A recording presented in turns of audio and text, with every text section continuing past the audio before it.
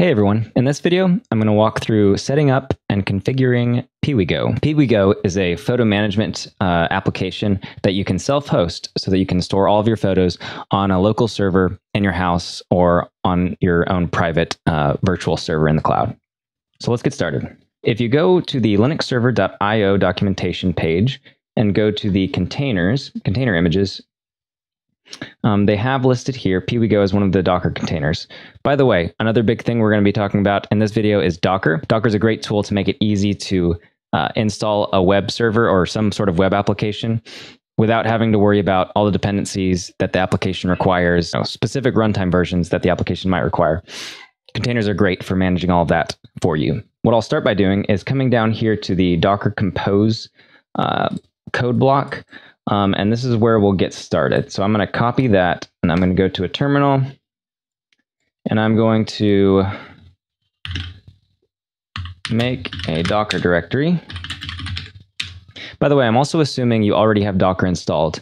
On Arch Linux, what you'll want to do to install it is run install for both Docker and the Docker Compose tool. That one we're going to be using uh, to manage multiple containers.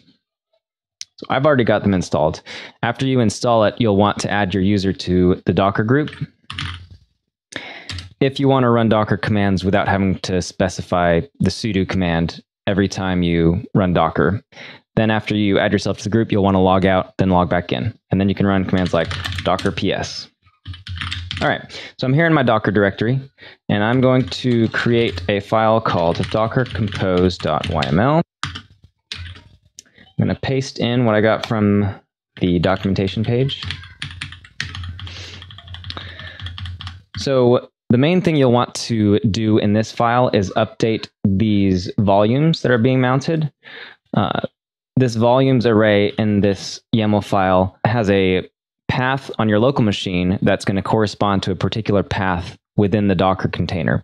The Docker container has its own file system.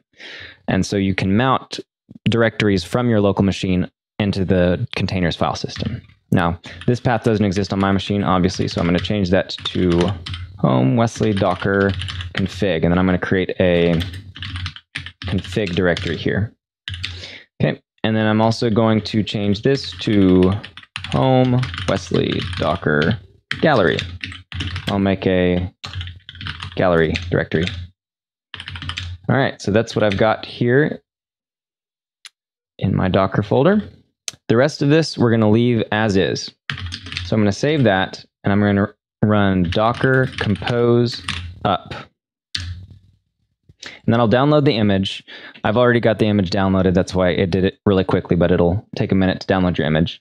And then you can you should be able to go to http localhost and then you'll want to go to install.php. So now you're at the installation configuration page for Piwigo. Now, you'll notice on this page, it's asking for information like a database, username, password, the database name. Piwigo requires you to set up a database server. Now, I don't want to go through and set up a whole new database. Like, I don't want to install a database application on here.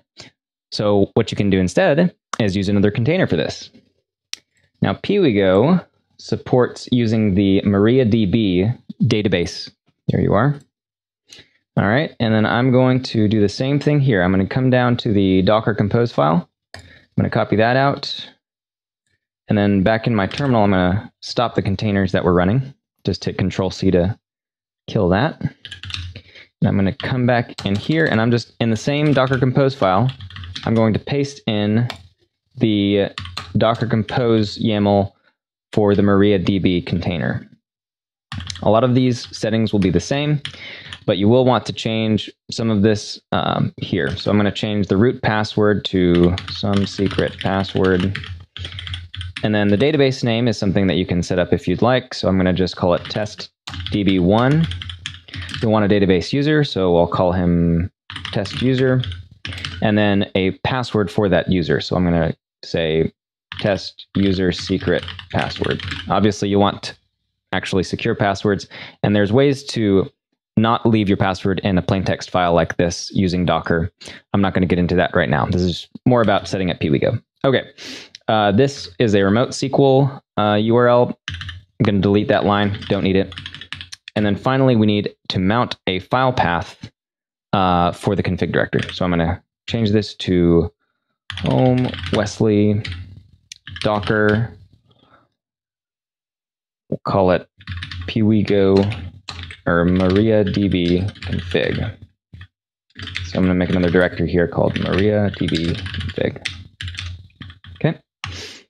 Leave that port there, and then we'll save it. And then again, run docker compose up.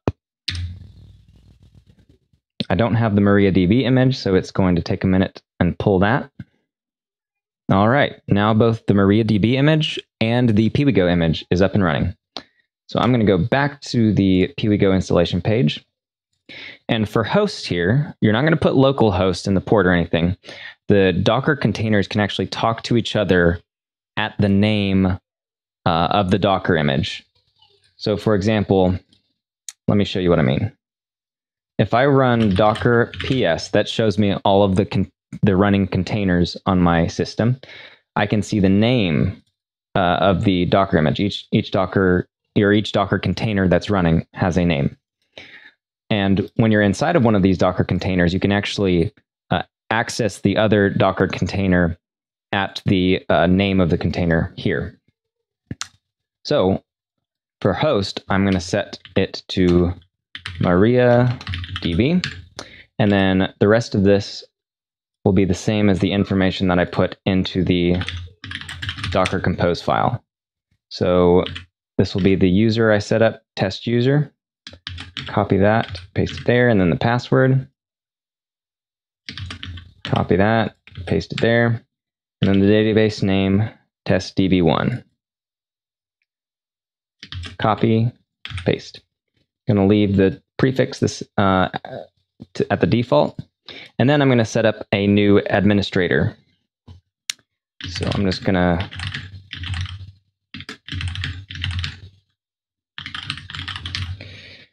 And then I'm going to uncheck subscribe, send connection settings, email. Okay, and then I'll click start installation. And now the Piwigo installation is complete. So I can come in here and visit the gallery.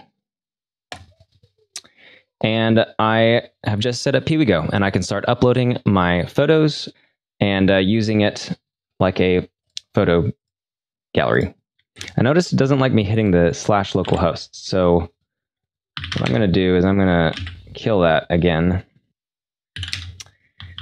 I'm going to change port here to 8080. So on my local system, I'm going to access it at port 8080, and that's going to forward into the container at port 80. Docker compose up, and they're running. So now I'm going to change this to port 8080. And my application should be fully running. Cool.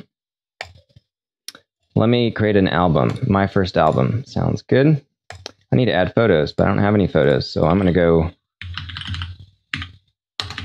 grab some photos. Let's look for photos of mountains. Mountains. There's a cool one. Download it. Okay. What else? How about this one? This one looks cool. Download. All right, so we've got a couple photos select some photos, go my downloads, open all those, and scroll down here and click Start Upload. And they're up. Now I should be able to come to the home page and see my first album and browse through all my photos. Anyway, I hope that was helpful for you. Uh, if you thought it was, please be sure to give it a thumbs up and I'll hope to see you in the next video. See ya.